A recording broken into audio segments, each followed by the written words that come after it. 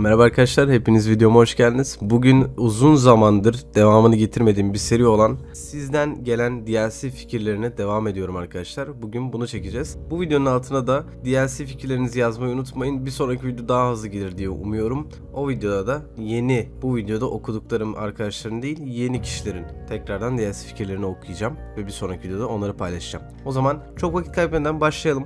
Şunu da söyleyeyim bütün hepsini okumayacağım arkadaşlar. Yani her detayına kadar okumayacağım. Sadece birazcık üstünden geçeceğim. Yani çünkü bazı arkadaşlar bütün perklerine kadar yazmış. Onların hepsi zaten bir videoya anca doldurur yani. İşte bir videoya yani fazla gelir diyeyim daha doğrusu. Yanlış anlamayın. O zaman başlıyorum. İlk karakterimizi yollayan arkadaş 64 Efe Forever. Benim karakterim biraz büyücü tarzı ama oyuna uygun olduğumu bilmem. Bu karakter nurse gibi ışınlanabiliyor. Kendisi mor küçük ışınlar atabiliyor. Yakınına gelince bir patlama yapıp yaralayabiliyor. Ve bunun bir barı var ve full bardayken tek atabiliyor ama uzun sürüyor tabii ki de dolması demeye çalışmış galiba. Eklentilerle kısalabilir diye yazmış. Şimdi Nurse gibi hem ışınlanabilen bir karakterimiz var. Mor küçük ışınlar atabiliyoruz. Bunlar bu ışınların yanına biri gelince patlıyor ve hasar veriyor. Ve aynı zamanda ışınlanan da bir karakteriz. Bayağı güçlü bir karakteriz anladığım kadarıyla. E, güzel. Özel gücü dediğim gibi ışınlanabilmesi bağdaş pozisyonuna geçiyor ve ışınlanıyor. İki kere ışınlanabiliyor. Işınlanırken güç patlaması yaparak etrafındakilere hasar verebilir. Çok uzağa ışınlanamıyor. Üste veya alta geçmek uzun sürüyor ama hızlı ışınlanabiliyor. Işınlanmadan çıktığında eski yerine dönüyor. Yani tam haliyle ışınlanabiliyor denmez. Bu kadar çok ışınlanma cümlesi kullanmamalıydık. Hologram gönderiyor diyebiliriz. Işınlanırken vurduğu kişi belli saniye görebiliyor. Vurduğu kişi ise bar tamamen dolu bir şekilde patlamadan hasar aldıysa direkt düşüyor. Yarımsa sakat durum etkisine giriyor. Vallahi şimdi Efe'cim karakterin OP gibi geliyor. Ben bu karakteri S tier'a koyuyorum ve devam ediyorum. Teşekkür ederim güzel fikrin için. Büyücü karakterimiz böyle tasarlamış. Hayal gücüne hayranım. Diğer karakterimiz Uluyan Kurt tarafından geliyor. Katilin adı Krampus. Krampus'un özelliği kurbanları kovalayan yaratıklar bırakıyor. Yaratıklar Nemesis'in zombisi gibi kör edilebilir ve aynı zamanda yaratıklara palet devirirsen ölüyorlar.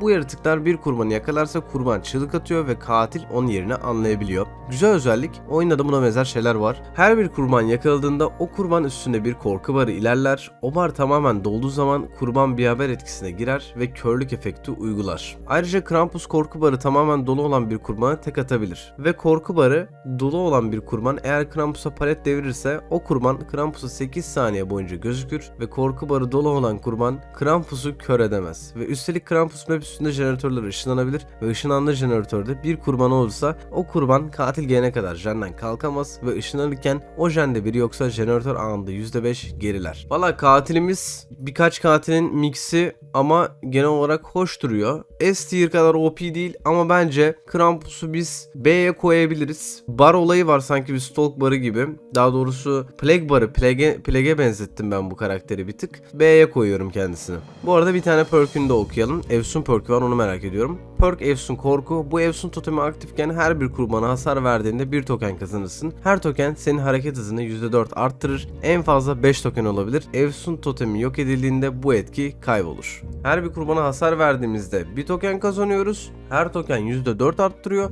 %5 token 5 token kazanabiliyoruz toplam. Yani %20'lik bir hız artışı alabiliyoruz. %20 lan. Bu kadar OP perk tasarlanır mı? Ve sadece totem yok olduğunda gidiyor. Yani oha. Oha 5 hasar yani çok OP perk. Bu, bu perk olmaz. Geçiyorum. Beton yetmeyen yazmış. Katil Mr. X Resident Evil'dan. Özelliği çelik karanlık. Mr. X özelliğini her kullandığında Mr. X tespit edilemez durum etkisine girer ve kullanırken stun yerse palet direkt kırılır. Özelliği kullanırken kırılabilir bir kapıdan anında geçebilirsiniz. Biraz Jason'ın Rage moduna benzettim Friday'deki. E, güzel eğlenceli bir görüntü olabilirdi yani. Özelliği biraz böyle agresif. Yani özellikle basit bir özellik giriş oyuncular için çok iyi olabilirdi. Göktürk Yıldızlı. Mami aklıma şöyle bir katil özelliği geldi. Clown artı doktor gibi düşünebilirsin. Etrafa gaz saçarak kurbanları delirtiyor, gazlar belli bir alana yayılıyor, 32 metre olabilir demiş. Wesker ya da Nemesis gibi yavaş dolmuyor barlar, çok hızlı doluyor. Bar dolunca dediğim gibi deliriyorsun, eğer alan içinden çıkarsan bar belli bir miktar azalıyor fakat sıfırlanmıyor. Delirmiş kurbanlar takım arkadaşlarına saldırabilir,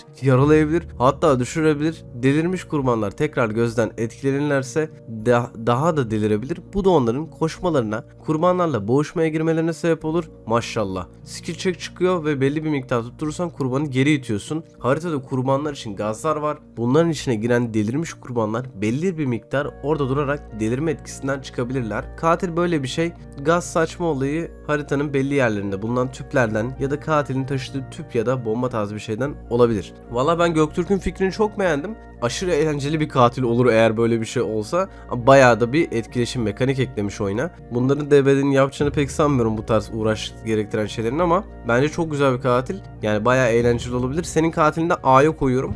Geçiyorum. Evet arkadaşlar ekranda gördüğünüz şey bir katil. Yani bir DLC fikri. Başka bir şey değil yanlış anlamayın. Roman görmüş gibi davranmanıza gerek yok.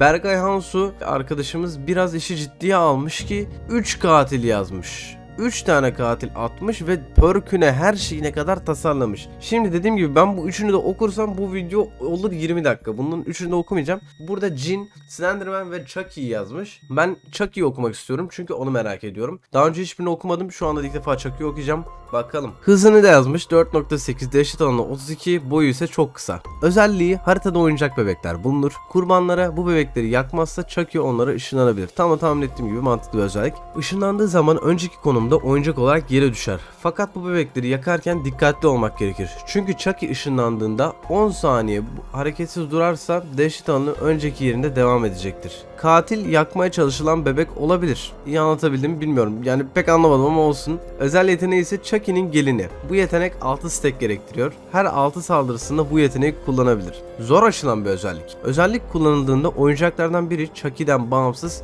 Nemesis zombisi gibi hareket etmeye ve kurbanlara saldırmaya başlar. Yalnızca paletle durdurulabilir. Hızı gayet yüksek 4.6 fakat aynı bir katil gibi saldırsa da maksimum 3 vuruş sonrasında yere düşer. Yani özelliği çok güçlü gelmedi bana ama geçiyorum. Mori Chucky küfürler ederek kurbanın üstüne atlayıp kişiyi bıçaklamaya başlar. Yani Mori'yi bile ayarlamış adam ya. Bir tane de e, bir perk okuyacağım. Yine Efsun okuyacağım. Efsunlar eğlenceli oluyor çünkü. Üçüncü perk küfür, efsun, uydurmak bedava diye bir tık abartayım dedim. Jeneratör yapan kurbanlar %25 şansla skill check yapsalar dahi sessiz patlama meydana gelir. Oo güzel perk. Oğlum bayağı iyi perk fikirleriniz var ya. Keşke oyunda da bu kadar işe yarayan perkler getirseler. Beğendim. Diğer arkadaşın diğer yazdıklarını okumak isterseniz ekranda bırakıyorum. Veya hani arkadaş tekrardan bir sonraki video için diğer fikirlerinden birini de yazabilir. Ben katili C'ye koyuyorum. C tier bir killer bence. Geçiyorum. EA Katta. Katil Batman Wu Laos. Woolaus özelliğine özelliğine bahsedelim. Woolaus sarı destesine sahiptir. Bu destede rastgele efektlere sahip kartlar vardır. Siyah kart korkutma efekti, kırmızı kart zayıf durma etkisi, mor kart ise dayanıklık efektini ortadan kaldırır. Biraz LoL'deki Twisted Fate'e benzettim ben. Woolaus kartları fırlatarak ya da normal vuruşlarıyla aktif eder. Fırlatılan kartların efektleri rakip üstünde 3 saniye etki eder. Eğer Woolaus kart seçtikten 2 saniye sonra normal vuruş atarak vurursa efektler güçlenir. Kırmızı kart zayıf durum etkisi uygulamadan rakibi direkt yere indirir. Siyah kart rakibin 3 saniyeliğine pencereler, paletler ile etkileşime girmesini engeller. Mor kart dayanıklılık efektini yok eder ve direkt bir hit vurur. Her kullanılan kartın yeniden kullanılması için 15 saniye beklemen gerekir. Yani efekt üzerine bir killer yapmayı istemiş arkadaş. Mantıklı da olmuş. LoL'deki Twisted Fate'den çok ilham aldığını düşünüyorum. Yani bana öyle geldi. Katili C'ye koyuyorum. Bir tane ceza kaynası perkü var. Okuyalım hemen. Ceza kaynası gülme toksini. Ceza kaynasına asılan kurbanlar kurtarıldığı zaman kurtaran ve kurtarılan zehirlenir. 50 saniye boyunca demiş son seviyede. Bu efekte olan kurbanlar aciz durum etkisine geçerler. O da 30 saniye. Güzel bir perk ee, ama kancadan alındığında sadece heal'lanmasını engelliyorsun demek ki kurbanların. Ee, EA Katta'ya teşekkür ederiz fikri için geçelim. The Raccoon paylaşmış bizimle Blood and Gears chapter ismi. Katil The Machine yani Terminator. Silah Gurka kaması. Dehşet alanı 50 metre. Boyu 1.90. Hareket hızı ise 4.2 zorluğu da zor bir karaktermiş. Özel gücünden başlayalım o zaman. Killing Machine. Oyunda tamamlanan her jeneratör başına Killing Machine bir yük alır ve aldığı yük başına hareket hızı 0.2 artar. Dehşet alanı 5 artar ve I'll be back yükü kazanır. Perkler ile dahil olmak üzere kazanan hız 4.8'in üstüne çıkamaz. Albi Back her jeneratör tamamlandığında bir yük kazanır ve CTRL tuşuna basıp aktif edilir. Albi Back aktif iken Terminator ileri doğru anlık hareket hızının iki katı kadar hızlanıp koşmaya başlar. Bir Wesker'lık var yani burada. Koşma sırasında bir kurbanı yakalamayı başarırsa onu istediği yere fırlatabilir. Fırlattığı yerde palet ve duvar gibi kırılabilir bir nesne varsa o nesneyi kurbanı fırlatarak kırabilir ve kurbanı direkt can çekişme aşamasına sokabilir. Eğer fırlattığı yerde bir kurban varsa iki kurban da can çekişme aşamasına girer. Baya Wesker'ın özelliği lan bu. You'll be terminated özelliğine bakalım. Terminator Albi Back yüklerini 3 yapıp harcamaz ise You'll be terminated aktifleşir. Bu moddayken bir jeneratör bitene kadar tüm kurbanların haresini 20 saniye görebilir ve onlara bir kereliğine tek atabilir. Güzel bu özellik daha güçlüymüş. Terminate. Terminator oyun boyunca 5 yükünde harcamaz ise Terminate modu açılır ve çıkış kapıları 1 dakika boyunca bozulur. Terminator bu moddayken stun yemez, istediği kadar ileri atılma yapabilir, dayanıklılık efektini yok sayar, dehşet anı tüm haritayı kaplar ve iç iskeletini dışarı çıkarır. Terminate modundayken haresi 24 metredeki tüm kurbanlara gözükür. Valla stun yani baya Jason'ın Rage modunun iki katını yapmış adam ve tabi kapıları falan da kapatmış. Skin de değişiyor bir yandan. Baya interaktif bir killer olmuş diyebilirim. Bir tane de perk bakalım. Killer'ı ben B'ye koyuyorum. Metalhead perk'ünde okuyalım. Katil her sersemletildiğinde maksimum 3 olacak şekilde yük kazanır. Yük başına sersemleme süresi avantajın seviyesine göre 0.10, 0.15, 0.23 düşer. Saplantı dışında aslan her kurban için yük kaybedilir. Güzel bir perk olmuş ama Enduring'den daha güçlü olabiliyorsa güzeldir. Şu an ben tam anlamadım. Biraz açıkta kalmış gibi ama Enduring'den daha iyi olabiliyorsa yani yükler sınırsızsa e, güzel bir perk. Evet son da buydu çünkü videomuz bayağı uza uzamaya gidiyor. Bu videonun altına da kendi DLC fikirlerinizi atabilirsiniz. Bu seferki video söz veriyorum daha hızlı gelecek. Orada da yeni fikirleri, yeni arkadaşların düşüncelerini paylaşacağız. E, teşekkür ederim video izlediğiniz için. Kendinize çok iyi bakın. Hoşçakalın. So let me break, break, break it all down for you. I ain't never giving up, I ain't never you know I'm take, take, taking that crown from you. I ain't worried about you, I ain't So let me break, break, break it all down for you. I ain't never giving up, I ain't never You know I'm take, take, taking that crown from you.